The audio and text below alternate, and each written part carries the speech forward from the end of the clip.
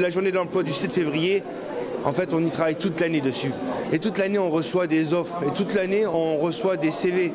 Et on met des gens en relation. On essaye, euh, on essaye de sélectionner euh, un peu de chaque secteur d'activité. L'idée, l'idée, c'est effectivement qu'il y ait une rencontre, qu'il y ait un échange.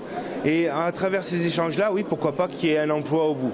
Parce que entre le besoin euh, et l'offre, c'est une question de moment.